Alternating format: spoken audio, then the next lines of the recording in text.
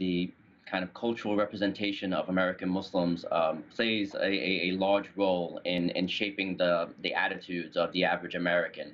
Uh, at a time, um, you know, uh, when when not uh, uh, you know a, a, majority of Americans still don't personally know an American Muslim.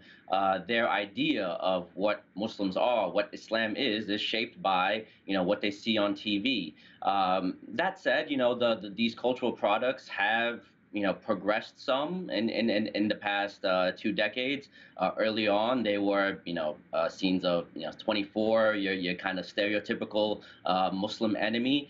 Uh, but you know recently they have you know become a far more nuanced. You have comedians, you have um, you know Oscar-nominated, Oscar-winning Muslims, um, and so uh, yes, you know it, it is disheartening that that number remains so high. Um, but the trend, I, I believe, uh, uh, is going in, in, in, in a positive direction, or at least there are indicators that it will go in a more positive direction.